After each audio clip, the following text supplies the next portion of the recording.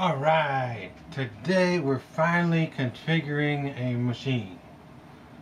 We decided to skip all those other things. If you've done the other videos before this video and configured those little pieces, you've got it under control. You can handle the rest. Let's get a machine built and let's put it to use, see what it can do. Today we are going to build the metal lathe and that is on start page 54. Right now, I'm going to put up a list of all the items you're going to need. Some of them will be the uh, motor pack which we had built earlier. So I'm not going to break down all those simple items. You should have that motor pack. If not, refer to another video. Build a motor pack, come back, then watch this one. There we go. There's the list. Get your stuff together.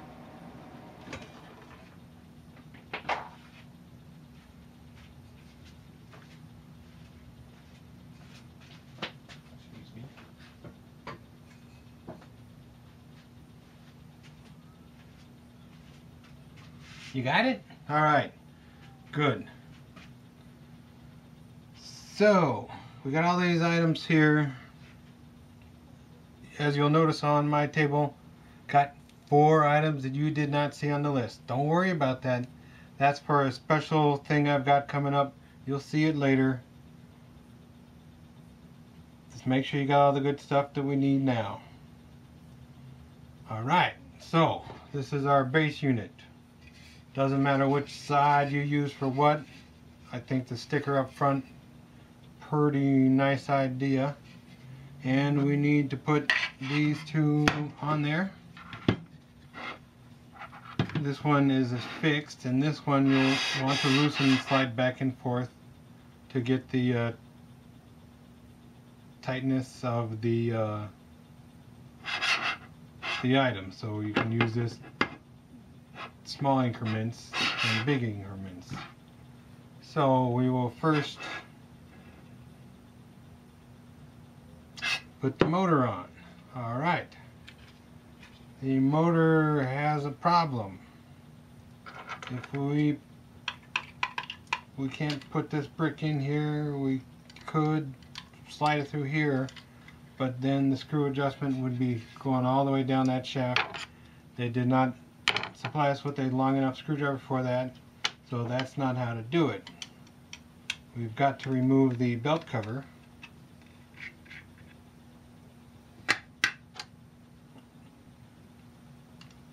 Put this in like it should be with that square part up top over there so it doesn't fall all the way through. Nice and tight in there. Slide it in the grooves.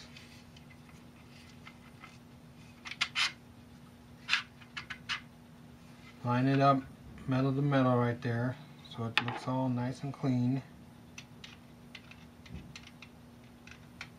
And then we can torque this back down and put it tight. So now you can put the belt cover over it.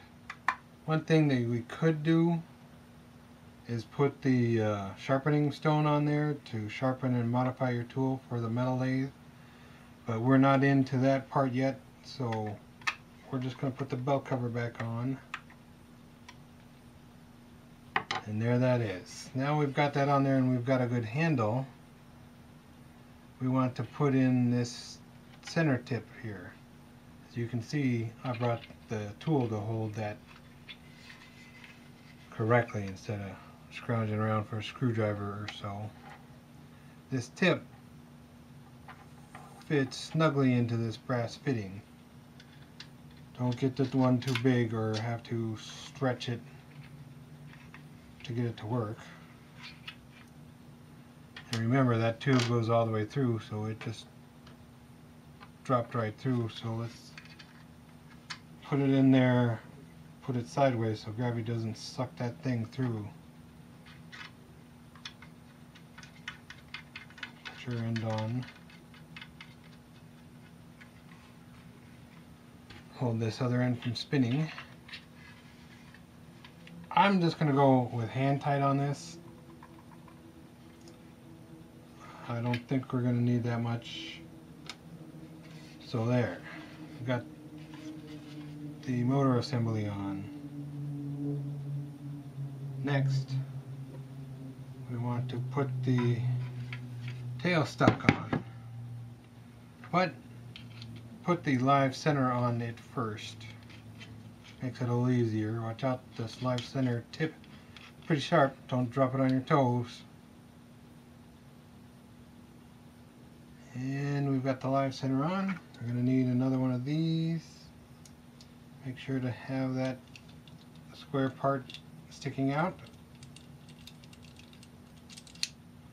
Slide it right in. Slide it on to this assembly. Slide your screwdriver in there and just tighten up to hold it in place so it doesn't come sliding down there while you got your hand holding here and pinch you in between those two points.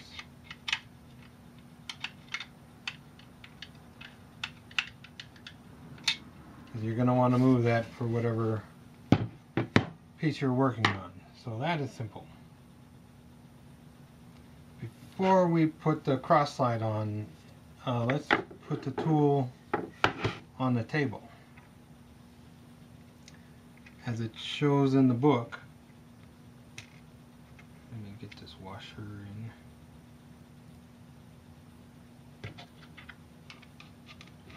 Put the tool right here. Look for the machined side right there. Want that up, angled in. It rides right along there with that milled part of the clamp holding it down.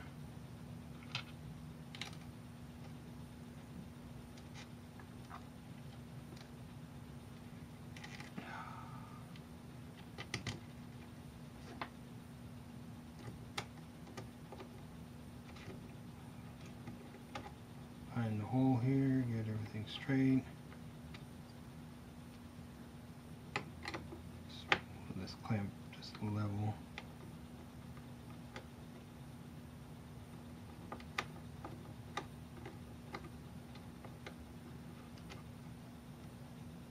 Now we had it.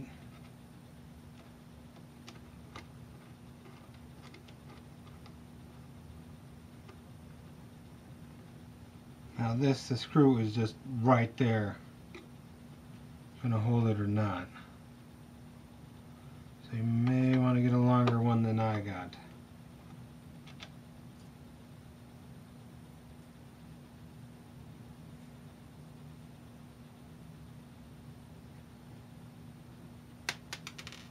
Just needs to be a tad bit longer.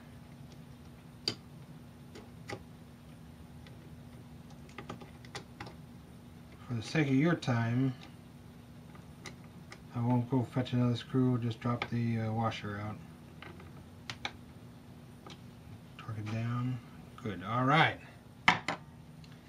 You know, if you want to learn more about metal lathing, I recommend uh, this channel Adam 97 or 79. I'll put a link to it in, well, a link up there and a link to it in the description. This Adam guy, he's got a machine shop that he works in on Saturday, Saturday night, Sunday, Friday, and he's got a regular job where he's a machinist. And man, he's got a lathe, wouldn't even fit in this garage at his work. Huge lathe. If you want to learn anything about turning metal, about turning items, check his Saturday night specials out. Those videos educational and entertaining. When I first saw his videos and it said Saturday night special, I thought he meant guns, like machine gun parts or something. I wasn't interested in that. Then I caught his video of him at work and then I got more interested in watching the other videos and found out that that Saturday night special wasn't about guns uh, you should check out his stuff. I think it's really neat. Link in the description. Alright, back to work.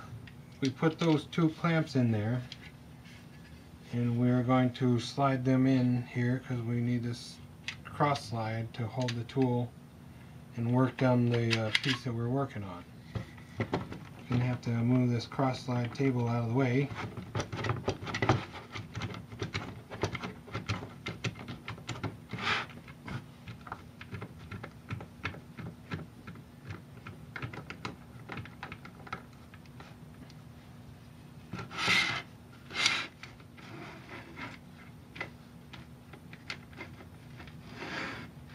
Get that table pretty much all centered. Screw in the clamps. Hold it still.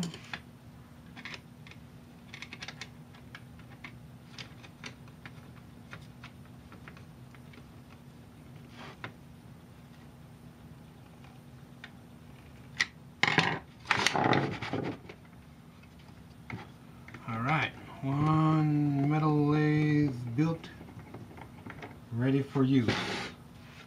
So, the manufacturer sells separately a little plastic table piece to put this on. It's just a little flat plastic piece, three holes in it uh, to hold this because it's it's kind of a little sketchy.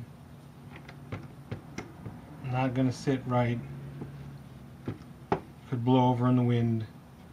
Well, you've seen this board that I've been working on.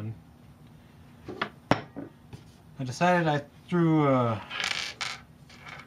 two holes, drilled those holes about the size of the screws that we normally use, countersunk two washers in there, and uh, it accepts nice and tightly. Two screws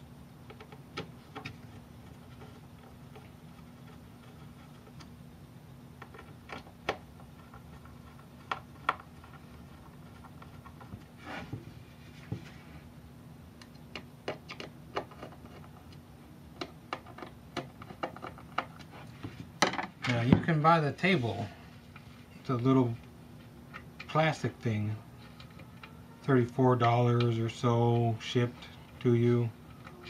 Or you can do what I did. Grab an old piece of countertop, drill some holes in it, and countersunk some washers so I could get it as deep for the screws. Share the other one.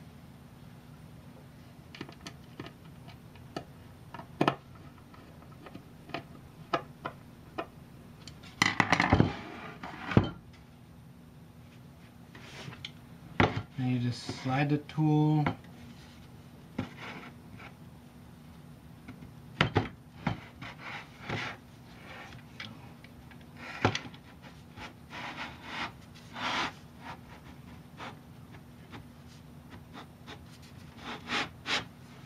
down those grooves, tighten them up.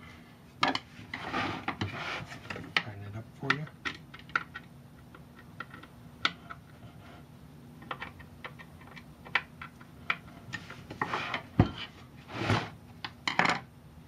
And there it is. It's mounted perfectly. You could make a little chip dam to hold all the pieces in, but at least it'll hold it together. You can almost dump them into a nice pile and keep your work area clean. Alright.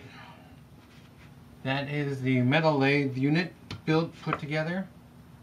Next video, we're going to put it to work.